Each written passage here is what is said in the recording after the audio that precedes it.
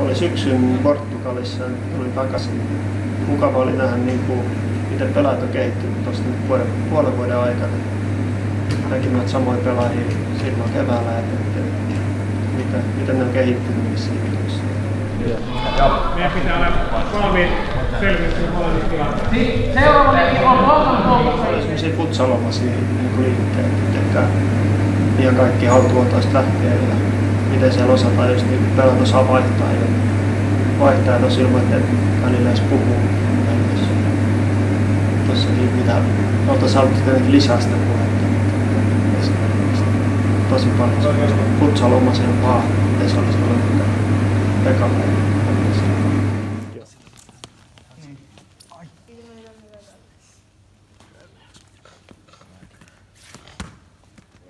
Joo, olin tosiaan silloin tämän vuoden ekalla leikillä mukana ja sitten olin esimerkiksi viime viikolla sen Kerkon kanssa mukana siinä Tampereen alueellisella leirillä, niin en mä tiedä. Jos niin kuin isossa skaalassa miettii, niin kyllä täällä niin kuin siihen nähden on oikeasti, jotkut on oikeasti niin kuin ihan kaikista nähdistä pelaajista jopa ihan parhaista päästä. Että niin kuin on hyviä pelaajia täällä ja on niin kuin siitäkin jo kehitystä, kehitystä verrattuna siihen ekaan leiriin. Että niin kuin vähän step overilla ja haastoa päälle ja näkee tuommoista. Ehkä enemmän, tänään keskityttiin puolustuspelijuttuihin, mutta niinku, oli tuommoisia enemmän pallollisen pelin pointteja, mutta niinku, kehitystä on tullut.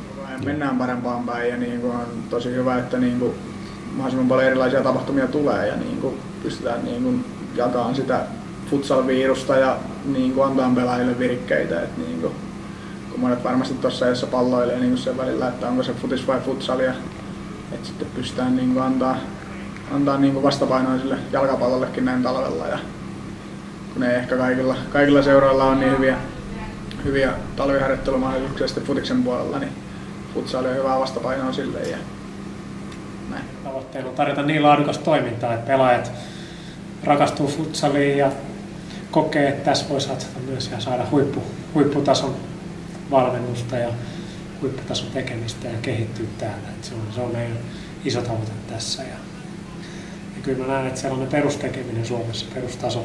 Mä olin silloin messissä, kun Lassi oli eka nuorten maajoukkoille, mitä Suomessa järjestettiin. Ja tänään katsottiin esimerkiksi videopalaverissa klippejä sitten meidän U19 poikien maajoukkojen tekemistä, niin tota on siinä, on siinä valtava ero, mikä siinä perustekeminen oli silloin 5-6 vuotta sitten, mitä siitä aikaa, kun se leiri järjestettiin ja nyt, se on niin kuin iso kuva, mikä on tosi, tosi hieno huomata. Mm.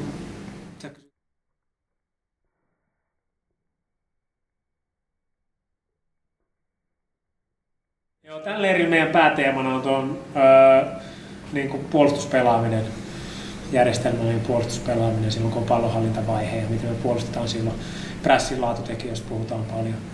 Ihan perusjuttuja, miten liikutaan syötöaikaan lähelle miten me peitetään keskustaa, miten me luetaan niitä vastustajan jalkaisuuksia, peliasentoja, millä syväspuolustuspeliä me Sitten toisaalta syöttölinjojen peittäminen, painottomalla aina hyvät tuet, kommunikaatio pelaajien välillä, puhuminen siellä kentällä, etenkin sitä me yrittää paljon painostaa näitä pelaajia, että puhuisi enemmän ja kommunikoisi enemmän muutenkin eleillä ja, ja kaikin, kaikin tavoin siinä puolustuspelaamisessa. Ja, ää, puolustusmuotoa siihen, että meillä on riittää puolustuslinjaa, hyvä kommunikaatio niiden välillä, veskari, veskareiden pelaaminen myös osa sitä puolustuspelaamista. Niin nämä on ne pääteemat ja täällä me prässätään noita pelaajia prässäämään paljon.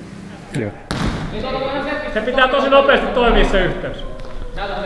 Joo, on tässä varmaan tapahtunut myös paljon ryhmäytymistä, että öö, kun ensimmäisin leireillä pelaajat ei vielä tuntenut toisiinsa, kun tullaan eri seuroista eri puolet Suomeen, niin ehkä vähän ujostuttaa sitä avata suuta palavereissa ja näin, mutta nyt kun ollaan opittu tuntea toisiin myöskin kaikki pelaajat, mun mielestä hyvä itseluottamus uskaltaa tuoda omia näkemyksiä esille. Ja, ja tässä on selvästi, tässä ryhmässä on paljon sellaisia tyyppejä, jotka ajattelee tosi älykkäästi futsalista ja haluaa nähdä tilanteesta moni, moni eri puolia. Ja pystyy, me pystytään käymään aika korkeatasoista keskustelua pelistä, mistä on tosi, tosi onnellinen ja, ja helpoinen tuo videopalvelusta. Niin menee syvälle niihin yksityiskohtiin, että mistä tässä nyt on kyse ja mitä voisi tehdä paremmin ja mikä tässä on hyvää ja sellaisia juttuja.